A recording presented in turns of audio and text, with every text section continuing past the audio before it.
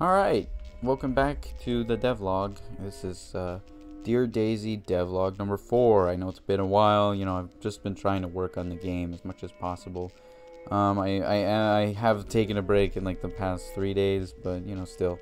Um, just a few updates. Uh, I am going to be restructuring the entire way the game works because I don't like that you just like plop into an asylum and like there's just these a bunch of unanswered questions. I'm also going to be figuring out if uh, uh, how to put it into VR. So I did put loading screens. This is obviously the exported version. I did put loading screens in the uh, in the what's it called in the editor. All right, so uh, you know you already know all this. I don't need to. I need to, I don't I, I don't really need to show this so I think I'll just skip to where we left off which I don't really know where that was but I'll figure it out I did change a few things here um, so first, I uh, because of the first demo, I uh, added this note here just because, and you know, this is a spoiler. Sorry, this is a spoiler. And you can see the mouse when you export it. I gotta change that. There's a few bugs that I gotta change. Like obviously, this is a texturing issue that I already fixed, but I still got. This is uh, the second demo. That light is.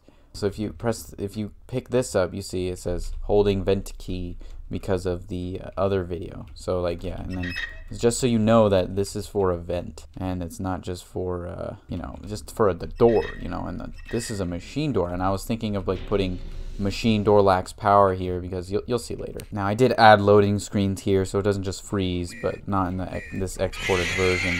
I wanted to use the exported version because like you know it's better. So yeah this door's locked. I added this thing here watch yeah, it's just, it's kind of stupid, but it's the best I can do. Yeah, but I am, I this will still be in the game. I'm just going to put it, like, I'm going to put a bunch of stuff before it. So, like, a few more things will be explained. Alright, this is where it gets weird. So, yeah, my friend voice acted this, and, uh, you know, I think he did an okay job. You know, I, okay, so it's coming up, but yeah. Um, turn on the shower, blood comes out, you know, super spooky or whatever. I just, yeah. Anyways, he's about to speak, so. Hi, my name is Steven, and welcome. This is a video training exercise to help you get past your mental issues. How are you feeling today? Yeah, I really need to put subtitles on that. Uh, I'm glad to hear that. Let's get started. This first training exercise is to help with a puzzled mind. Find a way to get up to a crawl space. Okay, so this first, this is like the first puzzle. So there's these cubes here, you know, you, you go up to it, you pick up the cube, and then you go over here. And you can throw the cube, or you can right click and just place the cube. I probably should put a, tut actually I am putting a tutorial, that's right. I am making a tutorial. It's in the making like right now, in fact, that's the next thing I'm gonna do but I've gotten like uh, stuck up on an error with Unity VR. I thought I broke the whole thing, but it turns out I just had to download a different version of Unity. So now this uh, this um, Unity Unity will be in 2019. Yeah, yeah, it's 2019.30 or something. Uh, the last few digits is 30 instead of five. That's all I know.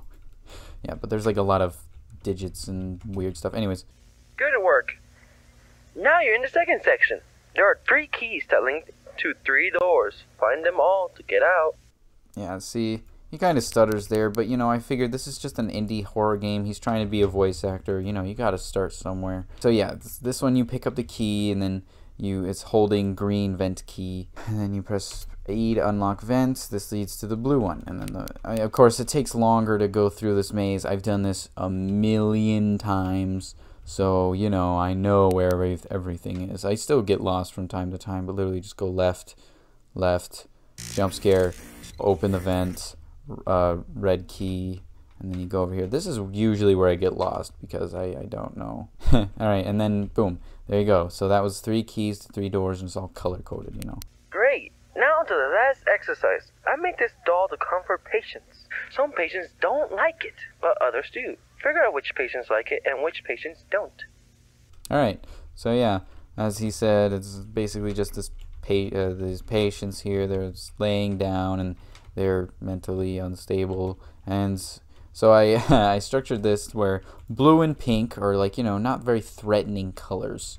so these ones don't jump scare you, and you know they just have a sound and you know, sighing sound. And I do this because like if I keep it on there, then it'll just uh, it'll it'll stay on there. Now yellow and red, you know, danger and caution. These ones, you know, do this. Yeah, not very scary, but what can I do? It's eh, it's not. This game isn't really for jump scares. It's for psychological horror. It's for creating a story. That's what I'm focusing on right now. Wow, great job! That's the end of this video. I hope this helped with your mental issues. Ciao. There we go. That's it. Oh, yeah, by the way, I made the flashlight uh, wider because, yeah, you know.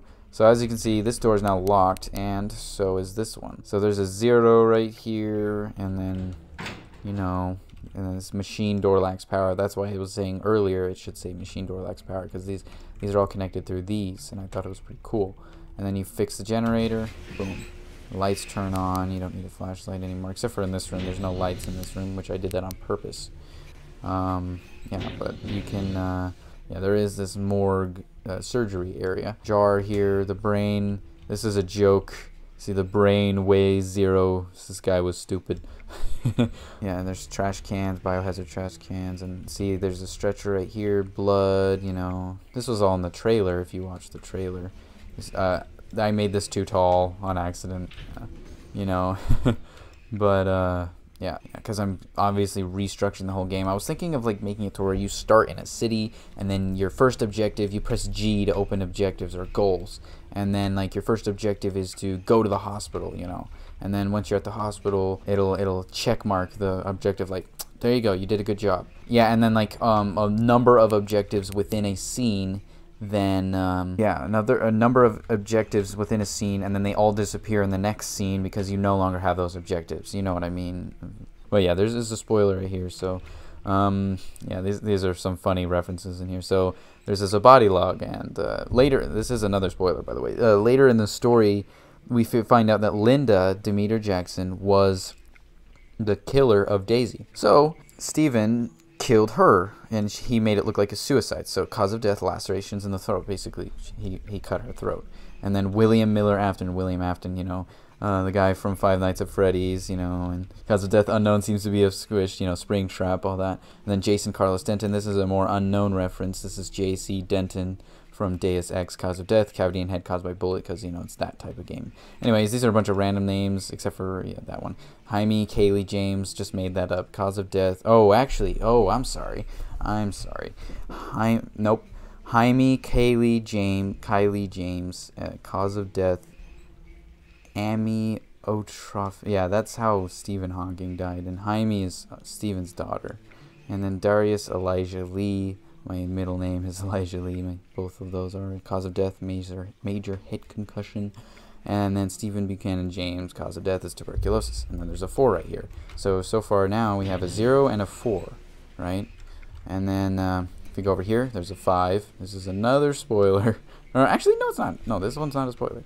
Strange corpse came in today. I don't know why we have to work in this basement with these blue lights. It's absolutely ridiculous. I don't get paid enough to do this. Oh dear. See the deer? That's a very important part because right here there's a 1 and see the deer antlers?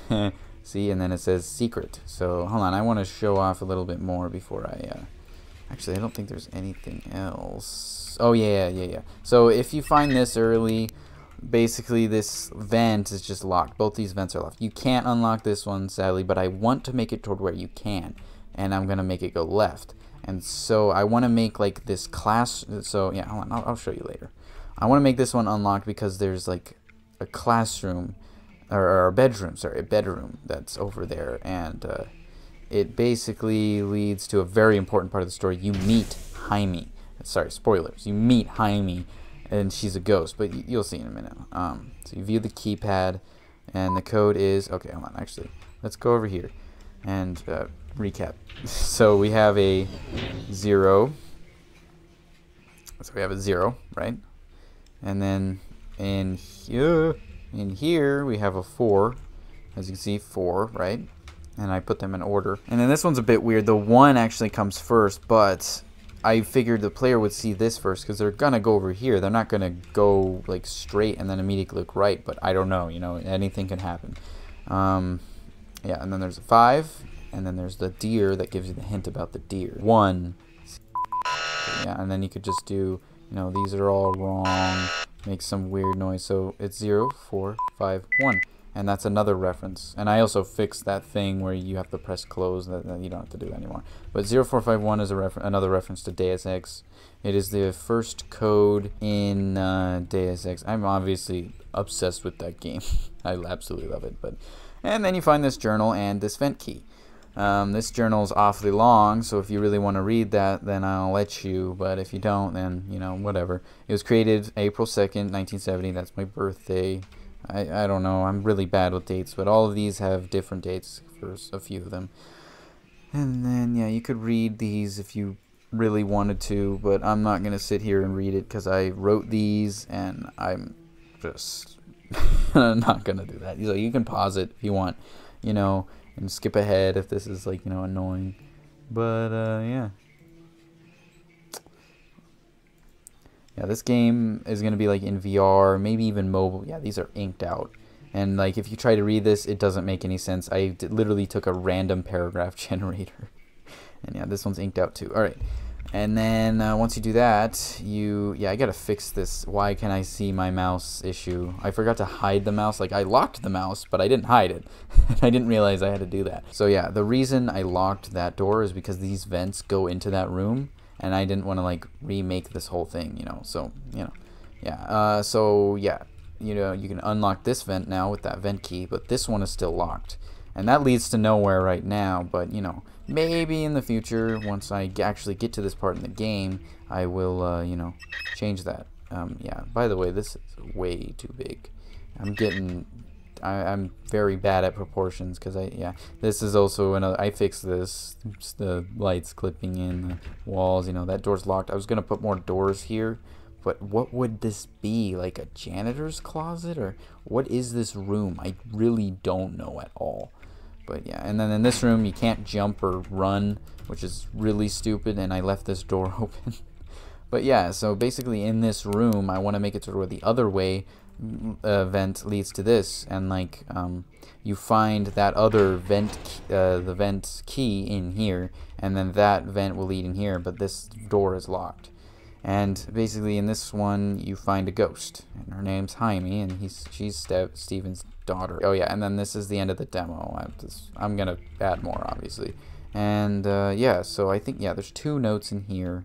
They're not important. They're not spoilers. It just says I'm not crazy and then there's this one over here. The leather jacket, the leather jacket showed the scars of being, yeah, it makes no sense. It's a random paragraph generator. It's actually really useful. Yeah, and then this room, I was gonna put like a recording, right? Actually, I might still do that, of like, food fight and then you just hear food going everywhere and then like a jan or, or a, a security guard comes up and is like we've got a we've got a 1084 we we we need backup or something like that you know can go to credits you know and i i credited uh these are really slow, but they go faster later. Fernando Hernandez voice Steven. I didn't need to come here to tell you that. I already knew his name, but still. I'll see you in the next devlog, maybe? I don't know. Anyways, I'll see you later, and...